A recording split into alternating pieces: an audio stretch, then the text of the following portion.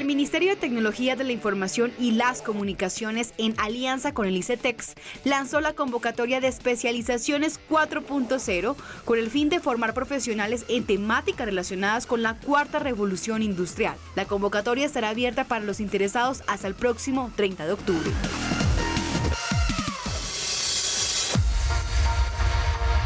Mabel López, gerente del canal de Teleantioquia, recibió la Orden de la Democracia Simón Bolívar en el grado Cruz Oficial concebida por la Cámara de Representantes. La comunicadora recibió el galardón por su gestión al frente del canal y por la defensa de la televisión pública.